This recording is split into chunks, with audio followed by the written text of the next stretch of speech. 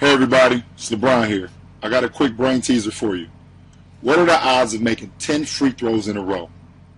Here's my good friend Sal with the answer.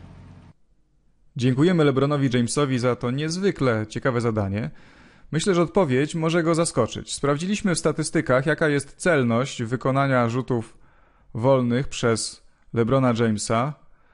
No i ona jest z rzędu 75% mniej więcej. No, jest to dosyć dużo, na pewno więcej niż, niż moja celność. Ale teraz pytanie, jakie jest prawdopodobieństwo trafienia rzutu wolnego 10 razy z rzędu? To jest zupełnie inna kwestia. No i spróbujemy teraz to obliczyć. Wyobraźmy sobie, że mamy milion LeBronów Jamesów, którzy rzucają do kosza po kolei. Powiedzmy, że ta linia reprezentuje milion LeBronów Jamesów. Każdy punkt na, na tej osi to jest oddzielny zawodnik. No i wiemy, że mniej więcej 75% trafi w pierwszej próbie, czyli mniej więcej 1 czwarta odpadnie, a 3 czwarte trafi. Czyli będziemy mieli mniej więcej tylu, którzy trafią, no i jeszcze 25% tych, którzy nie trafią. No i ci, którzy nie trafią, to już nas dłużej nie obchodzą. Oni, powiedzmy, wypadają z gry. Zajmujemy się dalej tylko tymi, którzy trafili. No tych, którzy trafili było 75%. Mówię o tym, że wyobraźmy sobie, że mamy milion LeBronów Jamesów. Równie dobrze moglibyśmy jednego LeBrona Jamesa postawić i kazać mu rzucać milion razy po 10 prób i patrzeć, ile razy te 10 prób z rzędu mu się udało. Tak czy inaczej jest to tylko eksperyment myślowy, który ma nam pomóc obliczyć to prawdopodobieństwo. No i 75% trafiło i oni przechodzą do, do następnej rundy. I tu mamy rzut numer 2, czyli w drugiej rundzie rzucają. No i co? Z tych, którzy trafili w pierwszej rundzie, znowu tylko 75% trafi w następnej kolejce. Bo zakładamy, że każdy rzut jest niezależny od pozostałych, czyli za każdym razem, jak gdyby losowanie jest od nowa, za każdym razem dla każdego rzutu prawdopodobieństwo trafienia jest 75%, czyli 75% z tych 70%, którzy trafili w pierwszej próbie, trafi w drugiej próbie. Czyli długość tego odcinka w drugiej próbie to jest 75% z 75%. Myślę, że zaczynacie już widzieć, jaka tutaj reguła jest. No ale przejdźmy do rzutu numer 3. Czyli weźmy sobie rzut numer 3. W trzecim rzucie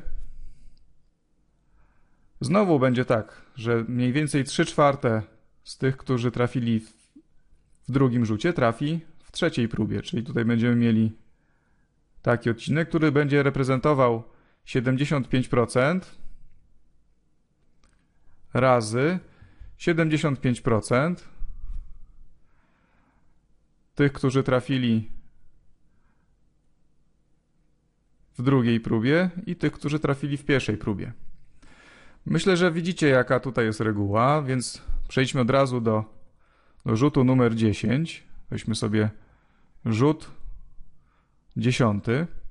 W dziesiątym rzucie zostanie już tylko tutaj jakaś niewielka cząstka tych, którzy trafili 10 razy z rzędu. No i jaka będzie długość tego odcinka?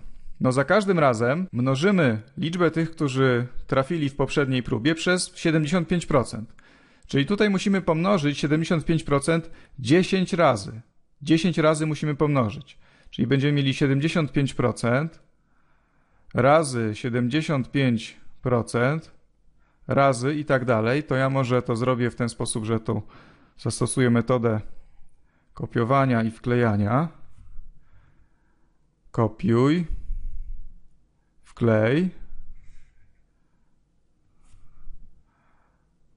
wklej, o, czyli muszę do następnej linijki, bo się nie mieści, wklej i wklej.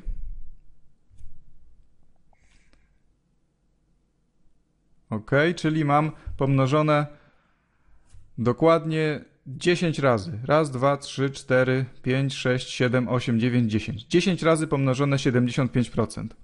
No, gdybym miał to liczyć w pamięci, to pewnie cały dzień by mi się zeszło, ale na szczęście mamy taką operację matematyczną, która zastępuje wielokrotne mnożenie tej samej liczby przez siebie, no bo to jest dokładnie to samo, co 75% pomnożone 10 razy, czyli podniesione do potęgi dziesiątej. Czyli to, co tutaj jest napisane, to jest dokładnie to samo, co 75 podniesione do potęgi dziesiątej. A to z kolei jest równe 75%, to znaczy 75 setnych. Tak, 75 trafionych rzutów na 100 prób do dziesiątej. No a to z kolei jest równe 0,75 do potęgi dziesiątej. No a to już jest coś, co możemy wpisać do kalkulatora. Czyli tak, bierzemy sobie 0,75 i podnosimy do potęgi dziesiątej. No i otrzymujemy w wyniku 0,056 i tak dalej. To może zaokrąglimy to do setnych części, czyli do całych procentów i będziemy mieli nasz wynik. Czyli ostatecznie to jest w przybliżeniu równe 0,06, a to jest dokładnie 6%. Czyli nasze prawdopodobieństwo tego, że LeBron James trafi 10 razy z rzędu rzut wolny jest 6%, tak naprawdę troszkę mniej niż 6%, bo zaokrągliliśmy to w górę, a 6% no to jest mniej więcej 1 na 20. Czyli pomimo tego, że LeBron James ma całkiem sporą celność, 75%, to prawdopodobieństwo, że trafi 10 razy z rzędu rzut wolny nie jest zbyt duże. Jaką tutaj ogólną zasadę zauważyliśmy? Można to samo pytanie zadać w stosunku do innych osób, które mają inną skuteczność, czy, in, czy możemy pytać o inną liczbę prób. Więc napiszmy teraz, jaką ogólną zasadę daje się tutaj zauważyć. Zauważmy, że ogólnie prawdopodobieństwo tego, że trafimy n, że będziemy mieli n celnych n celnych rzutów z rzędu jest równe, no tutaj kluczowa jest ta literka n, tak?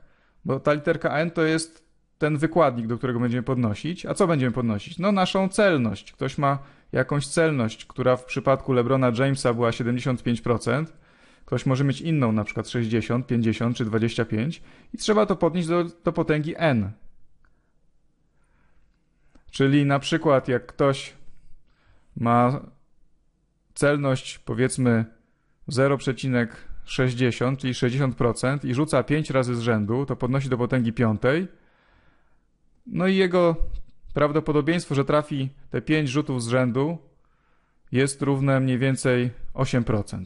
Zachęcam Was do eksperymentowania z innymi celnościami i innymi liczbami rzutów.